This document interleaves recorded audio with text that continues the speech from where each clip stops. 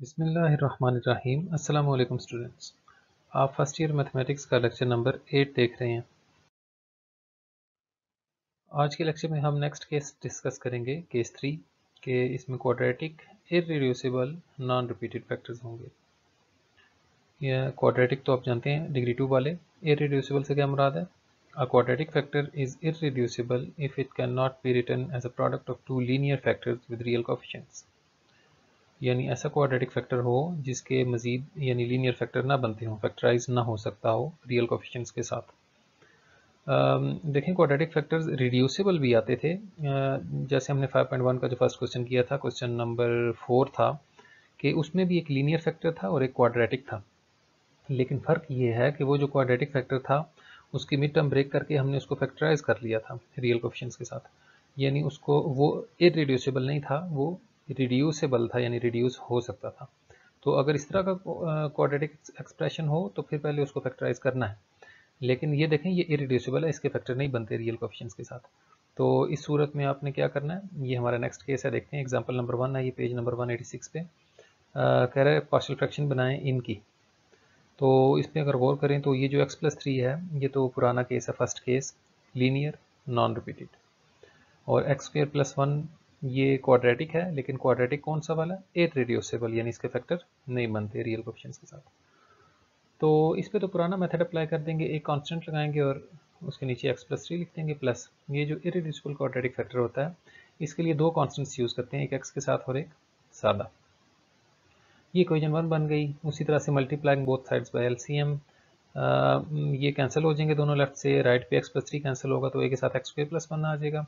और B x plus सी वाले factor के साथ जब ये दोनों मल्टीप्लाई होंगे तो एक्स पे प्लस वन कैंसिल हो जाएगा और एक्स प्लस थ्री वाला फैक्टर बच जाएगा। यहाँ जो गलती करते हैं, आप लोग वो ये है कि बी एक्स प्लस सी पे ब्रैकेट नहीं लगाते तो उस सूरत में गलती का चांस है कि सी के साथ सिर्फ़ मल्टीप्लाई कर देते हैं एक्स प्लस थ्री को बी एक्स फिर मल्टीप्लाई नहीं हो रहा होगा। लिहाजा बी एक्स प्लस सी पे हमेशा ब्रैकेट लगाया करें। तो ये क्वेश्चन टू आ गई, यहाँ से हमें ए और बी की वैल्यूज़ मिल जाएँगी। सबसे पहले जो लीनियर फैक्टर है, उसका फ़ायदा उठाते हैं कि x प्लस थ्री को ज़ीरो करें तो x की वैल्यू माइनस थ्री आती है, इसको इक्वेशन टू में पुट करें, इस इक्वेशन में। जहाँ जहाँ एक्स आ रहा है, वहाँ पे माइनस थ्री लिखेंगे, ये देखें एक्स की जगह माइनस थ्री यहाँ माइनस थ्री का स्क्वेयर हो जाएगा, और यहाँ जब माइनस थ्री पुट करेंगे तो माइनस थ्री प्लस थ्री ये ज़ीरो आ गया। अब देखें three into minus three is minus nine minus nine and minus eleven is minus twenty और यहाँ पे माइनस थ्री का square nine nine plus one is ten तो टेन ए लेफ़्ट पे राइट पे आ जाएगा। ए की वैल्यू क्या आएगी? ये टेन तो जाके डिवाइड होगा तो A is equal to minus two एक वैल्यू आ गई। अब ये जो क्वाड्रेटिक फैक्टर है ना, इसके ऊपर जो कॉन्स्टेंट्स लिखे होते हैं, इनकी वैल्यू कंपैरिजन के ज़रिए निकलती है।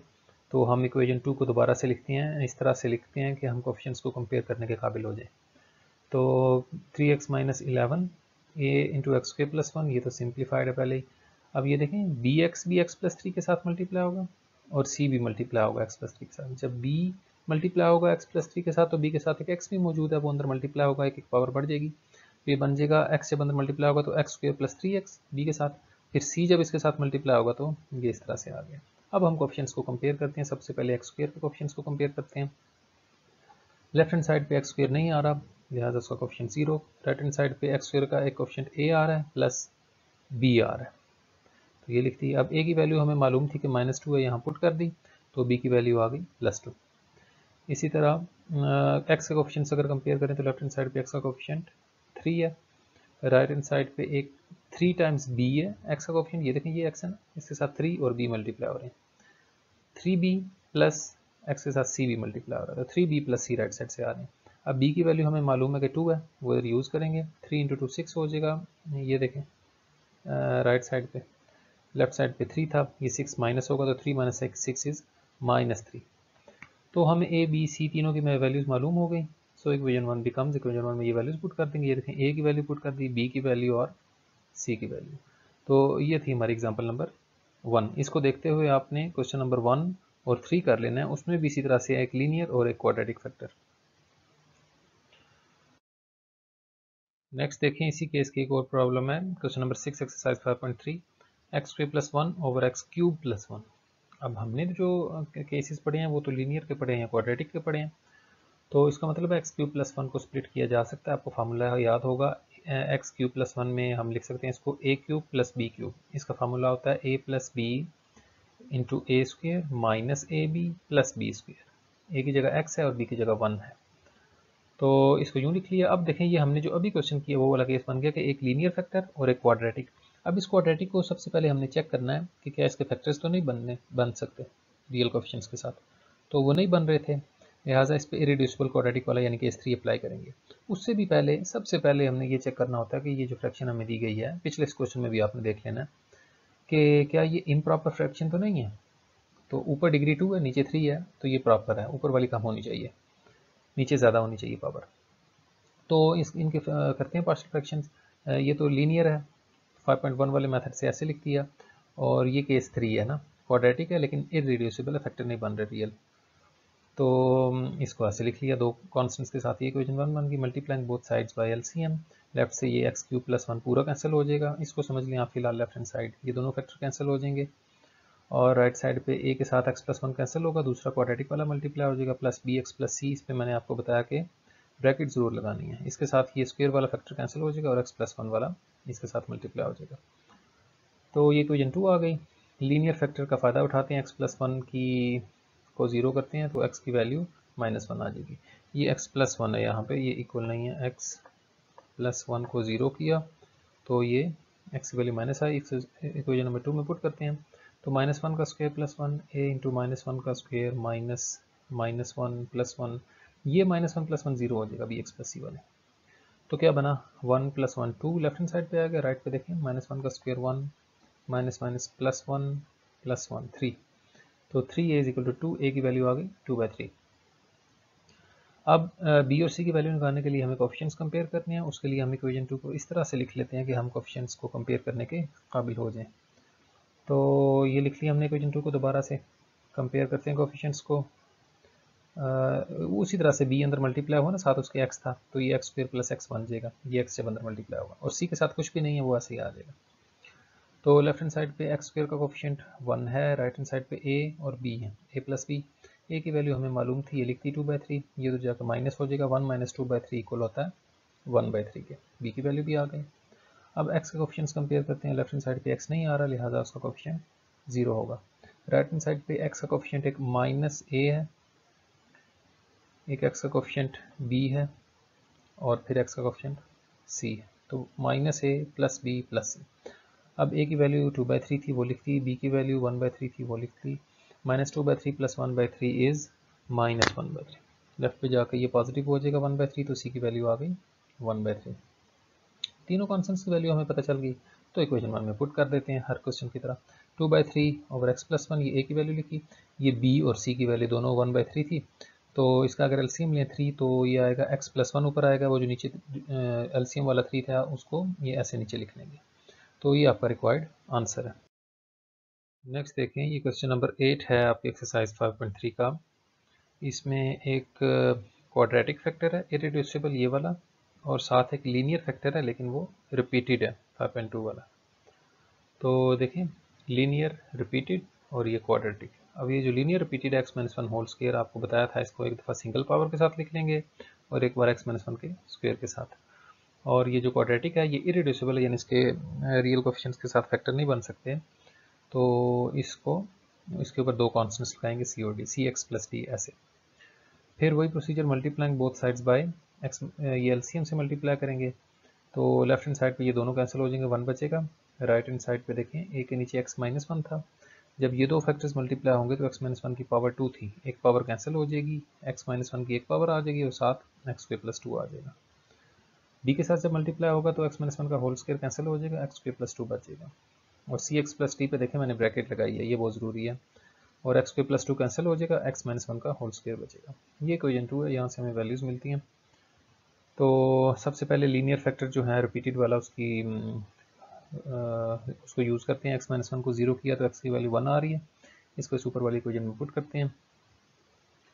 तो एक्स की जगह वन पुट करेंगे तो ये देखें one minus one zero a वाला फैक्टर ज़ीरो हो गया।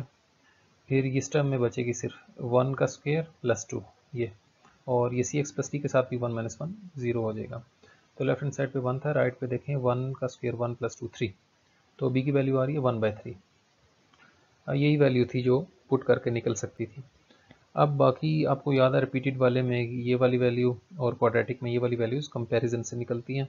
तो ये ज़रा डिफरेंट क्वेश्चन है, अभी देखें आगे आप कि इक्वेशन टू जो है उसको दोबारा लिखते हैं। ये एक्स माइनस वन और एक्स के प्लस टू को मल्टीप्लाई किया तो ये रिज़ल्ट आया।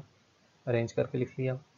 फिर एक्स स्क्र प्लस टू था बी के साथ वो आज इट इज़ लिखा हुआ है। सी एक्स प्लस डी के साथ एक्स माइनस वन का होल स्क्र मल्टीप्लाई हो रहा था होल स्क्र का फार्मूला खोला x square minus two x plus one a square minus two a b plus b square ये टर्म्स उसी तरह से लिखती, ये अब मजीद मल्टीप्लाई हो रहा है। सी के साथ जो एक्स था, वो अंदर इसके साथ मल्टीप्लाई होगा तो x cube minus two x square plus x बन जाएगा इस तरह से।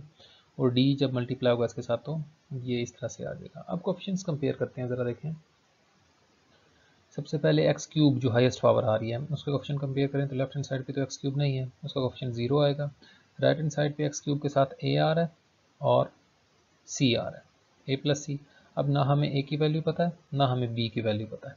तो ये एज इट इज़ लिख रहेगी अब इनको सॉल्व करना पड़ेगा हमें। फिर एक्स स्क्र के ऑप्शन को कंपेयर करते हैं। तो लेफ़्ट हैंड साइड पे एक्स स्क्र भी नहीं आ रहा, उसका ऑप्शन ज़ीरो होगा। राइट हैंड साइड पे एक्स स्क्र के साथ माइनस ए ये लिख दिया। प्लस बी ये लिख दिया। माइनस टू सी ये लिख दिया। और डी ये लिख दिया। अब इनमें से सिर्फ़ हमें बी की वैल्यू मालूम है वन बाई थ्री वो यहाँ पुट कर दी, ये लेफ़्ट पे जाकर माइनस हो जाएगी तो बाकी ए सी और डी की वैल्यू हमें नहीं पता, ये इक्वेजन फोर नेक्स्ट इक्वेजन आ गई। फिर एक्स के ऑप्शन को कंपेयर करते हैं लेफ़्ट हैंड साइड पे एक्स नहीं आ रहा, उसका option zero right hand side पे एक्स के साथ टू ए आ रहा है, ऐसे लिख दिया टू ए फिर यहाँ पे एक्स नहीं है, इसको नहीं लिखेंगे, फिर यहाँ पे एक्स के साथ सी आ रहा है नेक्स्ट हमने सी लिख दिया, ये देखें। फिर डी के साथ माइनस टू एक्स के साथ माइनस टू डी आ रहा है। तो ये लिख दिया। ये हमारी अगली इक्वेशन आ गई इक्वेशन नंबर फाइव और लास्ट में हम फिर ज़ीरो डिग्री टर्म यानी कॉन्स्टेंट्स को कंपेयर करेंगे। लेफ़्ट हैंड साइड पे जो कांस्टेंट आ रहा है वो वन है। राइट हैंड साइड पे कांस्टेंट माइनस टू ए आएगा। ये वाला प्लस टू बी आएगा। ये वाला। इधर कांस्टेंट नहीं है। और प्लस वन डी यानी प्लस डी आएगा। तो इनमें से हमें बी की वैल्यू मालूम है वन बाई थ्री ये पुट की तो ये टू वन ज़ा टू बाई थ्री बनेगा लेफ़्ट माइनस होगा one minus two by three is one by three ये हमारी छठी इक्वेजन आ गई। अब ये चार इक्वेजन हैं equation three four five six इनमें से हमने बी की वैल्यू हमें पता है ए सी और डी की वैल्यू फाइंड करनी है। तो इन इक्वेजन को गौर से देखते हैं। तो सबसे पहली चीज़ जो हमें नज़र आ रही है, हम यूँ करते हैं कि इक्वेजन फाइव और सिक्स में ए सी डी आ रहे हैं ना और इक्वेशन वन में ए और सी आ रहे हैं। हम ऐसा करते हैं कि यहाँ से डी को कैंसिल करते हैं डी इनको बैलेंस करते हैं ना क्वेश्चन को और माइनस करके डी को कैंसिल करते हैं। ए और सी में हमारे पास एक और इक्वेशन आ जाएगी, उसको थ्री के साथ सॉल्व कर लेंगे। तो हमारे पास थ्री के साथ सॉल्व करेंगे ए और सी की वैल्यू निकल आएगी। तो फोर और फाइव को देखें डी कैंसिल करने के लिए क्या करना पड़ेगा? यहाँ पे फोर में डी का ऑप्शन वन है और फाइव में डी का ऑप्शन माइनस टू है। तो हम ऐसा करते हैं इक्वेशन फोर को टू से मल्टीप्लाई करके इसके साथ ऐड करते हैं डी कैंसिल हो जाएगा। Multiplying equation four by two and adding with equation number five तो इक्वेशन फोर को जब टू से मल्टीप्लाई करेंगे तो माइनस टू बाई थ्री ये लिख दिया। माइनस टू ए ये लिख दिया। Plus sorry minus four c ये लिख दिया। और प्लस टू डी ये लिख दिया। और इसको इक्वेशन फाइव के साथ, इसके साथ ऐड कर देंगे, ये इसके साथ लिख दिया। अब इनको जब ऐड करेंगे, देखें। Minus two by three plus zero is minus two by three minus two a plus two a, ये भी कैंसिल हो गए। गुड देखें हम डी को कैंसिल करना चाह रहे थे, ये हमें बोनस मिला। साथ ए भी कैंसिल हो गया तो इसका मतलब है जस्ट सी रह जाएगा तो सी की वैल्यू हमें मिल जाएगी। तो देखें minus four plus minus four C plus C minus three C ये थ्री इधर जाके डिवाइड होगा माइनस थ्री तो minus minus plus three three nine तो सी की वैल्यू टू बाई नाइन आ गई। देखें हमें सी की वैल्यू मिल गई। अब ये जो सी की वैल्यू है, अब हमें बी की वैल्यू भी पता है और सी की वैल्यू भी पता है। तो ये जो सी की वैल्यू आई है, अगर हम इसको इक्वेजन थ्री में पुट करें तो हमें ए मिल जाएगा ना? ये देखें। सी की वैल्यू को ए में पुट करते हैं put in equation number three तो zero is equal to A plus C ये सी की वैल्यू टू बाय नाइन ये लेफ़्ट पे जाकर माइनस हो जाएगा तो ए की value minus two by nine आ गई अब हमें ए बी और सी की वैल्यू पता है। डी की वैल्यू फाइंड करनी है तो आप जिस तरह से भी निकालना चाहें, सबसे आसान इक्वेजन सिक्स है। उसमें ए और डी आ रहे हैं बे की वैल्यू हमें पता चल गई है तो यहाँ पुट कर देते हैं। Put a is equal to minus two by nine in equation number six तो one by three is equal to minus two a plus t, one by three is equal to minus two ये ए की value plus t. तो two को minus two से किया, minus four, minus two और minus two plus two by, minus two को minus two से multiply करेंगे plus four four by nine. तो लेफ़्ट पे जाके माइनस हो जाएगा, one by three minus four by nine. तो इनका एल्सियम लिया तो डी की वैल्यू आ रही है माइनस वन बाई नाइन। अब हमें सारी वैल्यूज़ मालूम हुई हैं। तो देखें बाद दफ़ा ऐसा भी होता है कि हमें इक्वेशन को सॉल्व करके कॉन्स्टेंट्स की वैल्यू निकालनी पड़ती है। अब हमें चारों कॉन्स्टेंट्स की वैल्यू मालूम हो गई हैं। इनको इक्वेशन नंबर वन में पुट कर देंगे। तो इक्वेशन वन क्या बन जाएगी? ये देखें माइनस टू बाई नाइन ये ए की वैल्यू पुट किया है। वन बाई थ्री ये बी की वैल्यू पुट किया है। सी की वैल्यू टू बाई नाइन थी और डी की value minus one by nine थी। इन दोनों का एल्सियम लिया तो जो एल्सियम आया वो नीचे लिख दिया। Two x minus one by nine तो यूँ था आपका क्वेश्चन नंबर एट यहाँ पे आज का लेक्चर ख़त्म हुआ।